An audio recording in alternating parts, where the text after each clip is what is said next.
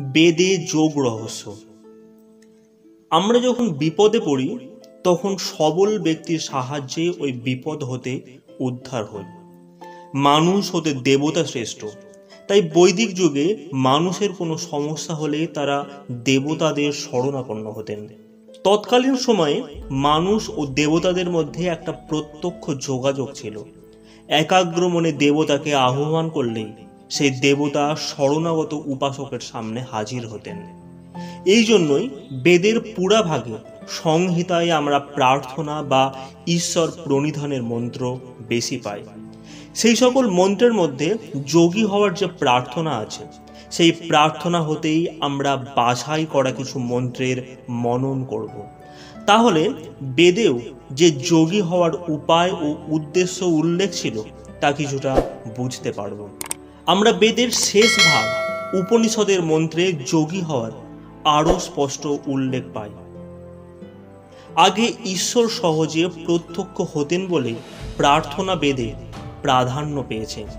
পরবর্তীকালে যুগ প্রভাবে মানুষ যতই বিষয়মুখী হতে থাকল, তত ঈশ্বর সত্তা মানুষের অস্থির মনের অতীত হয়ে গেল। তাই ক্রমান্বয়ে পরবর্তীকালে তার অনুসন্ধানের গভীরতা বাড়তে থাকল। আগে যা সহজে প্রাপ্ত হওয়া যেত, তা পেতে পরবর্তীকালে পরিশ্রম বাড়তে থাকল। ফলে নানা রকম যোগ সাধনা ও বিভিন্ন যোগ মার্গ আবিষ্কৃত হলো।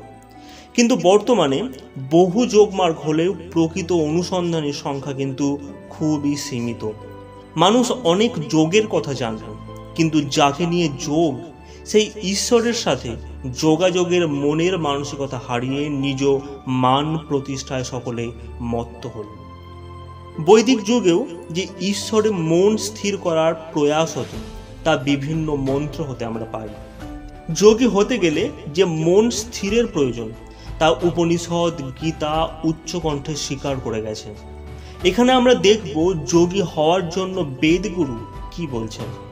ঋষিদের মুখনিসৃত যে বাক্য বা বাণী বেদমন্ত্রে পরিণত হয়েছে, তা সরাসরি অন্তরীয় নির্বাক আত্মচৈতন্যেরই বাঁক রূপ। আত্মচৈতন্য সেখানে ঋষির মুখকে স্পিকার করে তাকে পাওয়ারই মন্ত্রণা বা মন্ত্র দিয়েছেন তাই বেদকে অপৌরসেও বলা হয়। অর্থাৎ বেদমন্ত্র ব্যক্তির মুখনিষ্ঠুত হলেও নির্বাক আত্মচৈতন্যেরই অভিব্যক্তি।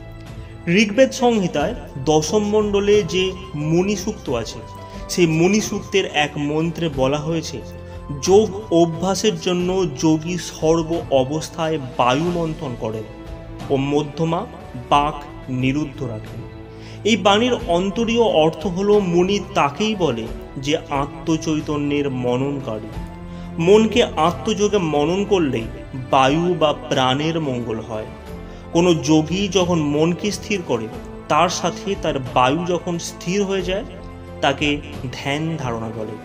এবং যে যোগী শ্বাস বায়ুকে স্থির করার প্রয়াস করে, সেই শ্বাস স্থিরের সাথে মনও স্থির হয়ে যায়, যাকে প্রাণায়াম যোগ বলে। তাই যোগ বহু হলেও স্থিরত্বকে ভোগই সকলের লক্ষ্য।